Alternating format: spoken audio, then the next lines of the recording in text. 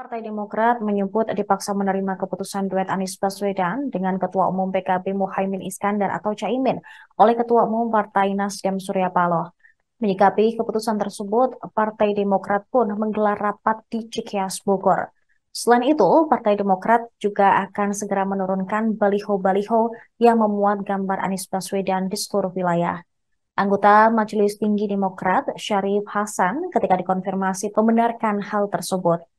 Namun dia enggan menjelaskan lebih lanjut soal penurunan baliho Anies Baswedan oleh Partai Demokrat ini.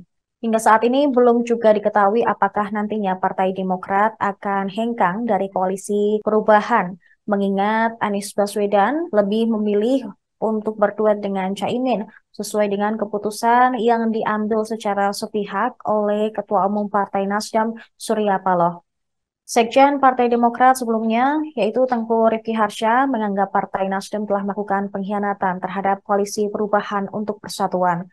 Sebab Rifki menyebut Nasdem telah melakukan kerjasama dengan Partai Kebangkitan Bangsa dan menyetujui duet Anies Baswedan beserta Muhaimin Iskandar di Pilpres 2024. Terima kasih sudah nonton.